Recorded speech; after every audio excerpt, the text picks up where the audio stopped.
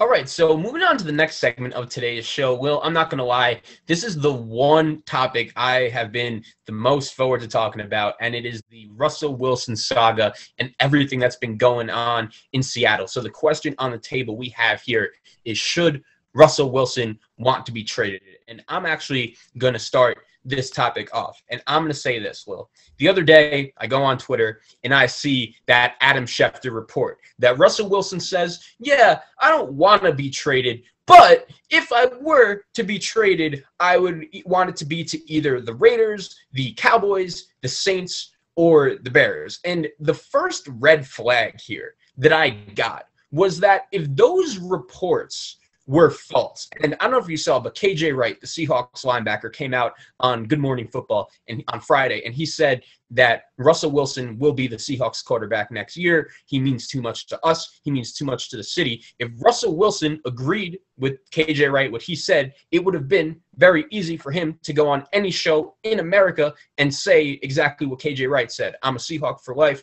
All of that good stuff. So that is my first red flag. And more importantly, I'll say this as well. If Russell Wilson wants to be a winner and he wants to rebrand himself and have more control of everything in Seattle, then I just think he needs to take a deep breath and look at everything around him and say, okay, the last couple years, it's been tough for the Seahawks to get over the hump. There's no doubt about it. I think that Pete Carroll, as a coach, could be better. I think their offensive play calling needs to be a little more modernized, and you hope with the offensive coordinator, uh, they get uh, oh, they improve on that. Hopefully, their offensive line can improve. So I understand why Russell Wilson is a little bit upset. But with that being said, I don't think he should want to be traded because I think that look at a guy like Tom Brady, your guy, right? The one thing that Russell Wilson and Tom Brady really have in common is that not only are they star quarterbacks, but they are married to a celebrity.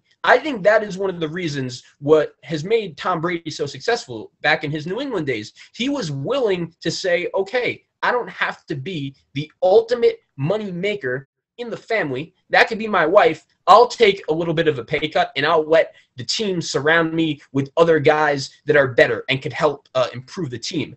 And I think that when you look at Russell Wilson, his wife, Ciara, is even more of a celebrity than he is. And he could have done that same thing, but instead, he took that big contract, and the Seahawks really haven't been the same since. And one other point I'll make to you, Russ if the Seattle Seahawks didn't care about your feelings like you're claiming they don't, you know what you would have right now? Two Super Bowl rings because the reason why they made you throw the ball was because they wanted to make it look like that you were the reason why they you won, a hero. and not yeah. that defense. So I think Russell Wilson needs to take a deep breath, look at his situation, and say, "All right, it's not perfect. We could do better, but I'm happy to be in Seattle."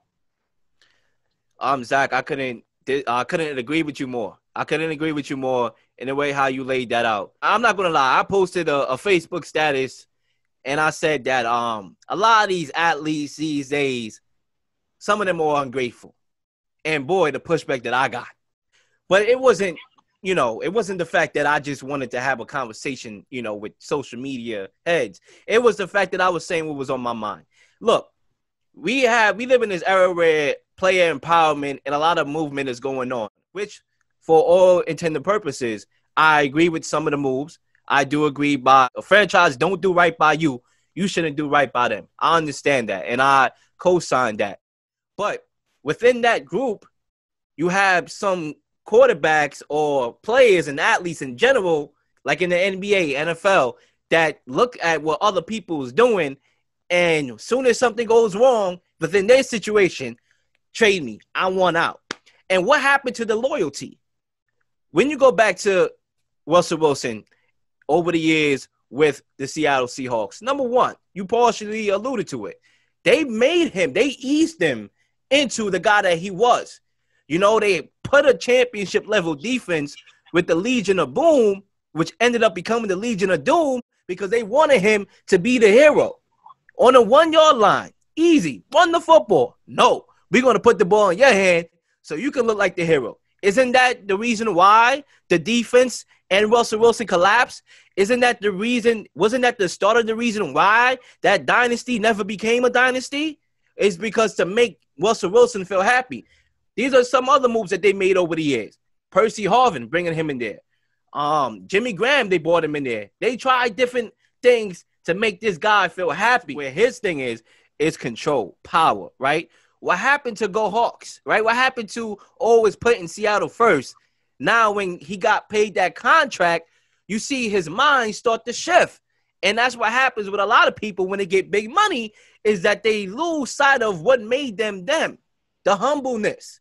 Now you flat out call your offensive line trash, and they supposed to block for you. So when you say that question, Zac, or that's on the monitor, should Russell Wilson want to be traded? No, flip it. Should the Seahawks want to get this guy out of here? Because if he doesn't want to be here, and he want to call our offensive line trash and basically disrespect the coaching staff and the offensive line, you're gonna have to talk about getting rid of you. Yeah. And see what we can get back. Because obviously you saying, oh, oh yeah, I don't want to be traded. This is not a trade request, but oh, trade me to the Saints if you do, or the Cowboys. I, I would never co-sign that. That's not how he's supposed to act at all. Yeah. Another thing is, dude, like if you want to say I am taking winning as my number one priority, that's what makes another reason what makes Tom Brady so good. You know, his brand is literally winning Super Bowls, nothing else. Russell Wilson, if he wants to be that guy, you're telling me you're going to go to Dallas. You're telling me you're going to go to Chicago. You're telling me you're going to go to Vegas. Like, those are the teams you want to go to. So I think that when you look at this situation, I understand, Will, as I started off, said when I started off, I understand why Russell Wilson's a little frustrated. I think Pete Carroll needs to be a better coach. I oh, think yeah. their I think their play calling needs to be more effective. I think that their offensive line and their drafting needs to be better. There's no doubt about it. But at the same time, it doesn't mean that the Russell Wilson situation is the Deshaun Watson situation, you know? No, I think exactly two yeah. different things they're two totally different situations. So uh, I think when we look at the Seattle Seahawks, they're a team that right now uh, I'm not feeling too great about them. I mean, it's hard because their quarterback and their coach, we always used to think that they were on the same page. And we saw that last year, let's not forget this, Will. Last year, that, that Seahawk defense that I went on this show and called them a high school defense. I said that. And they really stepped it up the last seven or eight games of the season. But Russell Wilson couldn't get the job done. He fell off the face of and, the earth. And you know what? I remember, you know, a lot of predictions this year on the show I take credit for. I got right. But one of my my mishaps was because of Russell Wilson.